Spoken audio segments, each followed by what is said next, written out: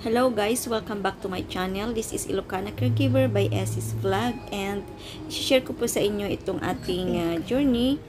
Uh, last year po ito na nakuhanan nung nagbakasyon ako sa Pilipinas and gusto ko pong i-share sa inyo itong uh, journey ko sa pag uh, chemical peeling ko dahil may problema ako sa ating melasma. Yes, ito yung ating pinaka main problem at uh, malala po yung ating melasma. So, trinay ko po itong chemical peeling. First session ko po ito and uh, mahapdi siya sa una. Sobrang hapdi at saka hindi, nakaya ko naman kasi in-endure natin yung hapdi niya. And ito siya. Then, ito yung second session natin. Pero medyo nagpipiling na siya ng konti. Pero wala pa rin pagbabago yung ating melasma. Medyo expensive po yung ating ginawa. Not so much expensive kasi meron naman na siyang cream, meron siyang serum, meron siyang kasaling sunblock. So, sulit naman. So, yan may pinapahid po yung ating uh, hindi ko alam kung anong tawag sa kanya kasi hindi naman yata, ewan, basta. Sila yung ano, assistant ng dermatologist na pinuntahan ko. So, yan. Pinahid-pahid.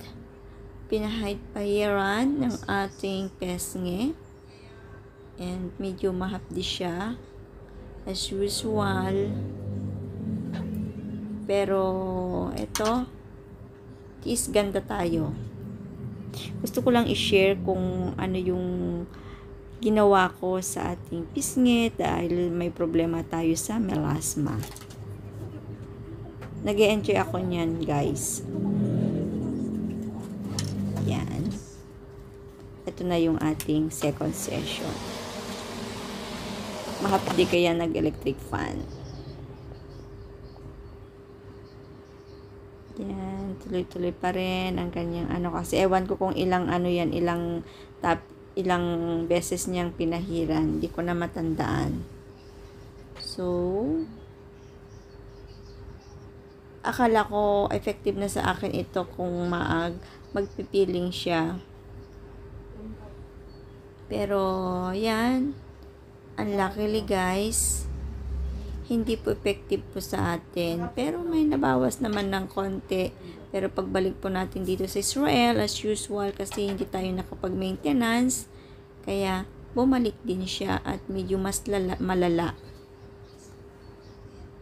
Mas malala po yung naging resulta nung bumalik na tayo sa Israel dahil hindi na natin maiwasan magpaaraw. So, siguro kung hindi ako nagpa-araw at saka na-maintain ko yung yung pagpapahid, yung binigay ng dermatologist, siguro naging effective siya. So, yan, electric fan ulit dahil mahapdi. Tiis ganda. Gusto natin gumanda. So, ito na yung ating, ano, third. Yan, medyo nagbawas siya ng konti, guys. Pa, diba? Sana ganyan na lang. Nagbawas ng konti. Kaya, sinasabi ko na kung sana, siguro, na-maintain ko, siguro, eh, Pwede ko nang basahin nagbawas siya. bukas. Opo, running water, ma'am. Or, na, Running nagamot yung lang. ating melasma. Hindi pa ako So, mag-facial ayan. wash. Yan po yung ating third session and last na yan kasi pabalik na tayo. So, nakailang Kaya, araw na tayo. Tingnan nyo yung pisngi ko. 3, 4, Meron at meron pa rin, kaya hindi natin naalis. Sad to say, hindi siya naalis. Lang po, like that po ba? Okay, ma'am. Gustong gusto ko nang maalis yung ating Ah, so, kailangan melasma. magsabon Ang tagal na nating problema ito, kaya wash. gusto kong i-share po sa inyo hanggang facial wash mo? maging- Wala ba okay po yung wala ba kayong ating bibigyan na facial wash? melasma. Wala po. Bibili ka po yung mild lang po. Ah, So, my yan. God. Hindi ko alam kung anong pinag-uusapan namin. Diyan nakikimarites yata ako na- kay feel na ate. po lahat, dun mo Or po kay, yung mga ano, hindi ko alam ano ng pangalan nito. Ay, yung Nakalimutan binigay na. nyo? Apo. Yan, third session ko na yan. Meron siyang pinapahid at mahapdi po yan.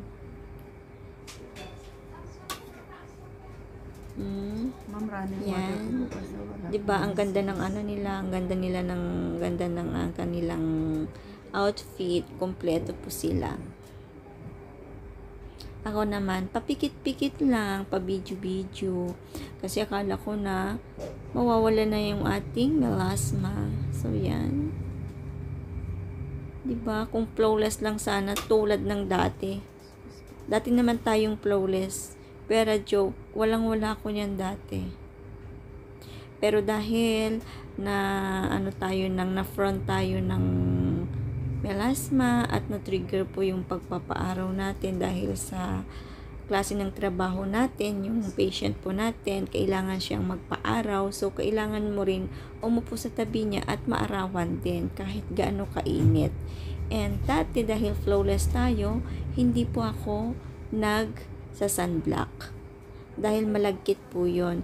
So, nung tumagal na ako dito sa Israel, mahilig na ako magpaaraw kasi winter nga at uh, may fair complexion tayo. Lagi kong sinasabi, kung maputi ka, maputi ka. Ganon lagi. Ha? Ayan, ang bunga guys, Wow. hindi ako nag-ingat, hindi ako nag-sunblock. Nagkaroon ako ng melasma and isa, isa rin yun na nakatrigger sa araw. And pangalawa, nung napacheck up ako dito is hormone. And pangatlo is nakahiligan ko na magluto ng kakanin. So, yun po, yan, di ba? Hindi siya effective ang ating pagpapapiling. Sad yung itsura ko dyan. Mm. Tingnan nyo, oh. Nabawasan lang siya ng konti kasi nagpiling yan. Tis ganda pa naman ako. Ilang araw akong hindi nag, ano, naghilamos kasi bawal nga. Ay, maghihilamos ka pero hindi ka magsasabon. Anuhan mo lang ng tubig. So, yan. So, yan po yung ating journey ng ating chemical peeling. Hindi ko sinasabi na hindi maganda. Sa atin lang po yon kasi iba-iba po tayo ng skin type. So, hindi effective sa akin. Pero, kung siguro na maintain ko po yung pag, ah, pag, ah, papagamot at nabantayan ako ng dermatologist, siguro nawala. Kaso bumalik na tayo sa work po natin. Kaya ganyan. And, buti na lang, meron akong nakilalang magbigay ng aking tamang gabay sa ating skincare. So, sa mga hindi pa nakasubscribe, please do subscribe now. Thank you sa pakikinig ng ating kwento. Bye!